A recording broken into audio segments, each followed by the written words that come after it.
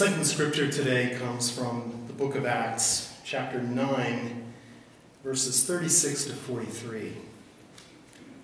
Now, in Joppa there was a disciple whose name was Tabitha, which in Greek is Dorcas. She was devoted to good works and acts of charity.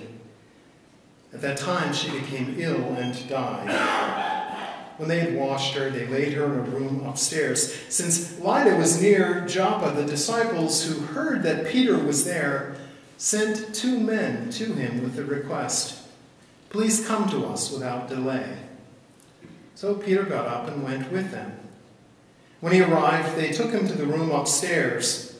All the widows stood beside him, weeping and showing tunics and other clothing that Dorcas had made while she was with them. Peter put all of them outside and he knelt down and prayed. He turned to the body and said, Tabitha, get up. Then she opened her eyes and seeing Peter, she sat up. He gave her his hand and helped her up. Then, calling the saints and widows, he showed her to be alive. This became known throughout Joppa, and many believed in the Lord. Meanwhile, he stayed in Joppa for some time with a certain Simon, a tanner. How do we define human life? It's a big political issue these days, isn't it? It's being raised in state laws being passed all over the place.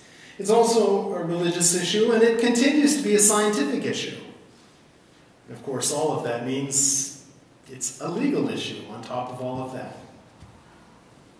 We've seen in recent months lots of anti abortion laws passed around the country. Some making abortion illegal as early as six weeks into the pregnancy, some of which criminalizing abortion so that if a woman has an abortion, she is guilty of murder, as is a physician who does that procedure. There is even one law, and I forget off the top of my head which state it is, that can criminalize miscarriage if it can be shown that the woman's behavior led to the miscarriage. Of course, the other end, we have states that have passed laws that allow assisted suicide from physicians. It's understood almost everywhere that an individual can refuse treatment for himself or herself, even if in that refusal they are guaranteeing that they will die. And in many circumstances, or under many circumstances, one can make that same decision for someone else.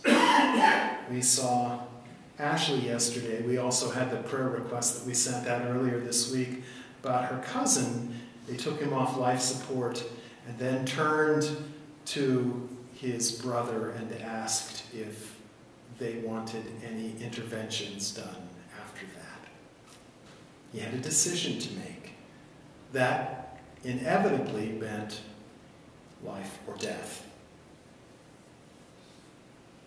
So, what does it mean to be a living human being? It's not a simple question. The answers are not simple. But it was clear for Tabitha. She's a fun character. It's the only female in the New Testament who is specifically referred to as a disciple of Jesus. Now, the assumption is there were lots of them. We know that as Jesus traveled around and he had his band of people that were called his disciples who were following him, we know that there were women in that group and, and so we just assume, well, of course, they were called disciples. But in Tabitha's case, we have a woman who is specifically named as a disciple of Jesus. She was important enough in her little community in Joppa that when she died, they had heard that Peter, this leader in the church, this one of whom had been one of Jesus' closest followers, was in a, a nearby town. They hear Peter's there. When, when, when Tabitha dies, they call for him to come. It doesn't seem as if they expected her to intervene. When you read the passage, it looks like she's already dead when they call for Peter to come. But the intent then seems clear, at least to me, that they wanted Peter to come and honor this important woman in their community. They wanted him to come so that he could bless the body before she's buried. They wanted him to come so he could hear the stories of this important woman and join with them in mourning her loss. So Peter comes. Maybe he had heard about this woman before, we don't know. But in any case, the message comes Peter, we need you to come. This pillar of our community has passed. Would you please come and be with us as we grieve and as we honor her? So Peter comes and he finds the body surrounded by the community of women. They had washed and laid out her body in the room upstairs. And, and as Peter arrives, they began to show him various garments that Tabitha had made for them. Now, for most of us, that's not something that really strikes us as, as particularly important. I don't know about you, but I've got way too many shirts. I've got shirts I haven't worn in years. What's that uh, Japanese woman's name? She says I should throw them away because I'm not wearing them. Yeah, Marie Kondo. Well, my, my closet would still be overly full even after I threw away all the ones that I haven't worn. But in the ancient world, a garment was a really, really precious thing. A piece of clothing represented literally hundreds of hours of work. Spinning, weaving, sewing, all of that by hand. The poorest people were lucky if they had two or three garments. And many of them literally had only one. I remember the first time I was struck by that. We were traveling through the countryside in Haiti, and we looked there in these little streams coming down out of the mountains, and here were women standing in the streams naked, washing their single dress. First time I ever even thought about it. Took it for granted. Clothes. But here, as these women are showing Peter the garments that Tabitha had made for them, they were showing him something precious, something that involved a tremendous amount of work and of giving of herself. And then there is the second detail. The women gathered, we're told, are the widows. Women in that society without any means of self support, literally on the margins of society and dependent upon others. They become a key feature in the early church. The widows. Because everybody else let them stay at the margins of society, but the church said, no, no, no, no, no. These people are part of our community. These women are important parts of who we are. And so they pulled them in and became known for caring for those who were on the margins. And here we see this earliest days of the church. Tabitha is beginning that tradition. She is saying, These women are part of who we are, I'm going to take care of them. I'm going to make garments for them so they have clothing to wear. And so there we've got these women, and they're, they're, they're coming to Peter, and I can see these, these little old ladies grabbing him and kind of pulling and saying, Let me show let me show you.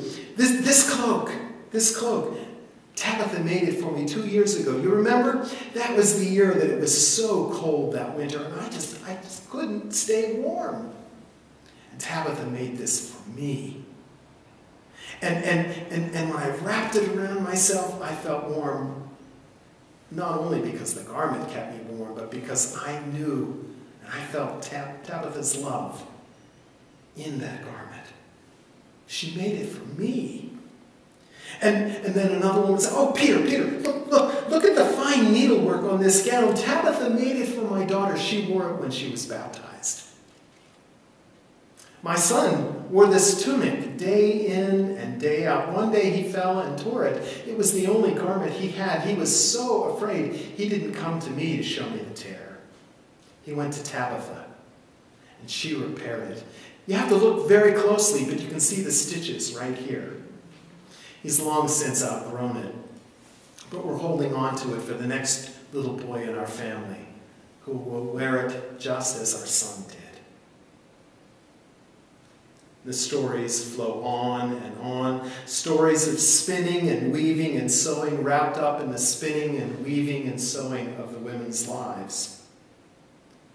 Tabitha had been alive because she touched the lives of those around her.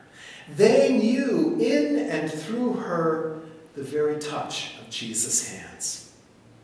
She was a disciple of Jesus, we're told, because his work continued in her work. Peter sends them all out of the room, and I'm guessing they expected he was going to pray for her, maybe, maybe lay his hands on the body, maybe bless the body. Maybe, maybe they thought he's, he's embarrassed because he's going to cry and he doesn't want us to see it. He's heard these stories of this amazing woman, and, and, he just can't, and he doesn't want us to see that. So maybe that's why he's taking, pushing us all out of the room. But he goes in and he pushes everyone out, he closes the door, and, and a few minutes later he opens the door. And I, I love the text here. It says, He showed her to be alive.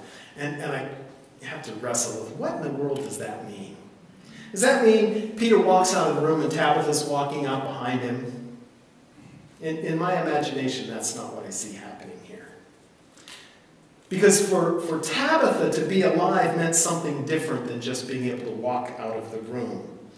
And for the people, people who knew her, just seeing Tabitha breathing wouldn't have told them this is really Tabitha who's back. Could have just been a reanimated bunch of flesh. They would need to see Tabitha at work, and that's what I imagine. I imagine Peter comes out of the room and he says, Come on, come on back in. And, and the mourners are, are starting to go back in, and they're figuring, okay, now we can finish preparing the body, and then we can take it and remove it for burial.